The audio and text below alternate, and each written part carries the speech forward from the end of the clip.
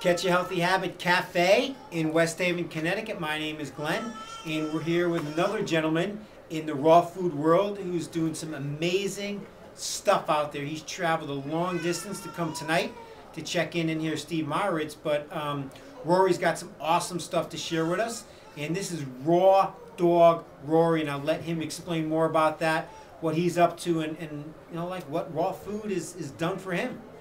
Thanks, Glen. Um, Raw Dawg Rory is just a nickname my cousins gave me back in the day. I was a teenager, and uh, now it's taken on a more literal term. I've gotten hardcore into raw foods um, starting about two years ago after trying raw foods at a Loving Life Cafe in New Oxford and um, just really got into it. Was vegetarian before that and um, just found that raw foods gave me a lot more energy and eventually led to a lot of weight loss. Um, I For how much weight loss? I've lost 85 pounds In how since long? going raw. Nice. And that was probably in about a year and a half. Wow. The biggest portion of it hit once I went 100% raw. Slowly transitioned into it and um, started doing videos, sharing recipes with people, and um, trying to educate people more about raw food options, including my family. My mom's getting more into it, Awesome. showing a lot of health improvements, and my energy levels have gone through the roof since I started getting into it. Yeah. Well, share maybe with the group, and I'm putting you on the spot here, but like one thing that really has been like totally mind-boggling, eye-opening since you got into this kind of movement.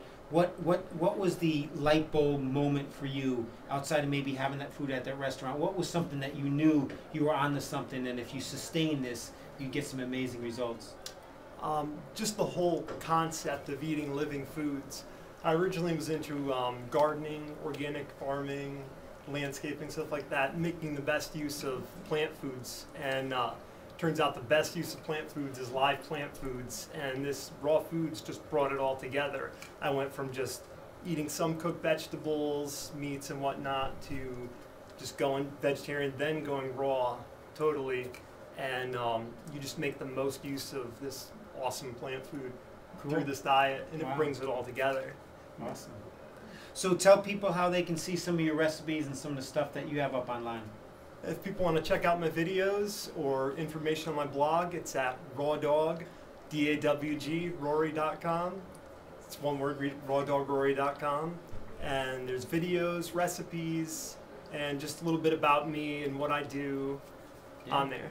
Awesome, awesome, good stuff. So, um, celebrities all over the place tonight at uh, Catch a Healthy Habit Cafe. They all came out to see um, the Sprout Man Steve Meyerowitz and many awesome talks coming in 2009. So stay tuned to Catch a Healthy Habit Cafe blogspot.com for update schedule and all kinds of cool stuff that's going on. So again, Glen Colello from Catch a Healthy Habit Cafe in West Haven, Connecticut, Connecticut's hub for raw food. So thank you very much. yeah. Woo!